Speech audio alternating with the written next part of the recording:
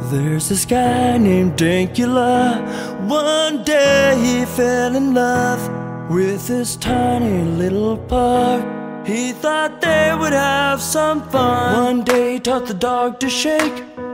It was one big mistake. The dog gave a seagull instead.